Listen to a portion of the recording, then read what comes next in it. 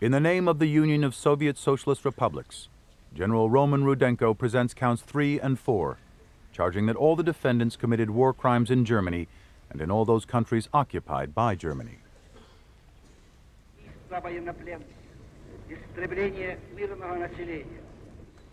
The Nazi conspirators committed crimes against enemy armies, against prisoners of war, against the civilians of occupied lands.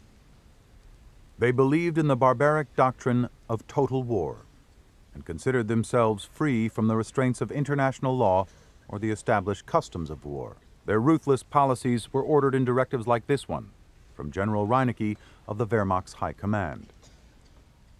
The Bolshevist soldier has lost all claim to treatment as an honorable enemy combatant. Ruthless and drastic measures are to be taken at the least sign of resistance. Active or passive resistance must be broken immediately by force of arms.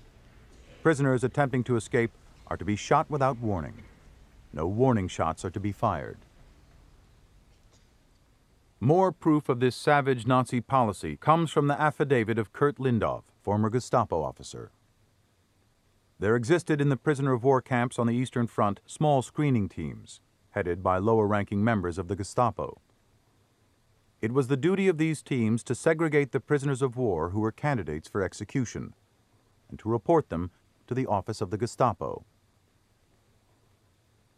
And a letter from Defendant Rosenberg to Defendant Keitel in 1942 stated clearly a large number of Soviet prisoners of war starved or died due to the harsh weather conditions. In many cases, prisoners on the march could not keep up due to hunger and exhaustion. In numerous camps, no shelter for the prisoners was provided at all. Nor were they given any sort of tools with which to dig holes or caves. Yet when some objected that this treatment violated the Geneva Convention, Defendant Keitel answered with this memorandum We are dealing with the destruction of a world view. Therefore, I approve these measures and back them. The criminal treatment of prisoners of war was also practiced against civilian populations.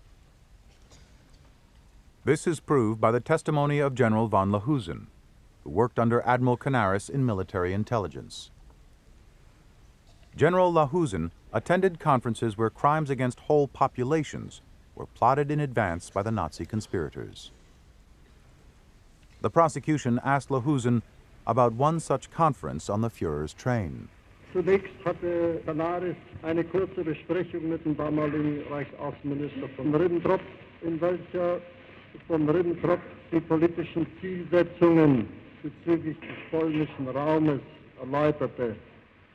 Zum Zweiten warnte Canaris in sehr eindringlicher Form vor den Maßnahmen, die ihm, Canaris, bekannt geworden waren, nämlich die bevorstehenden Erschießungen und Ausrottungsmaßnahmen, die sich insbesondere gegen die polnische Intelligenz, den Adel, die Geistlichkeit, wie überhaupt alle Elemente die als Träger des nationalen Widerstands angesehen werden sollten, richteten.